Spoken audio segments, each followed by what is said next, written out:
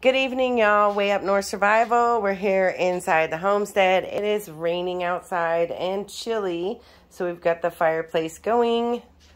And um, we have turkey and chicken bones here that I've been baking today to try and dry them out a little bit.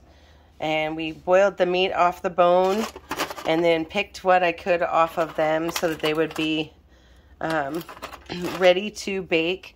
And the purpose of baking them is to turn, grind them up and turn them into a powder. And you can actually use the powder in your garden. It's great for your garden. Or you can use the powder for your dogs. You can put it on their dog food. And it's a great supplement, protein supplement for them.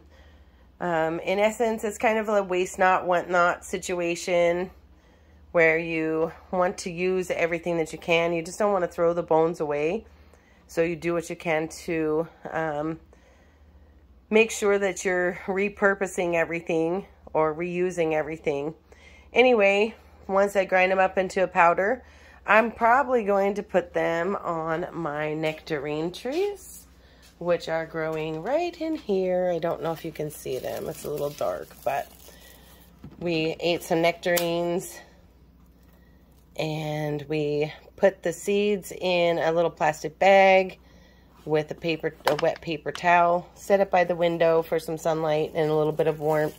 And they started to grow. So then we planted them and we're going to see how get big they get this winter. All right, you guys, subscribe, like, comment, share, and thank you all for the follows and for the subscribing. I'll respond to your comments as often as I can. Have a great day.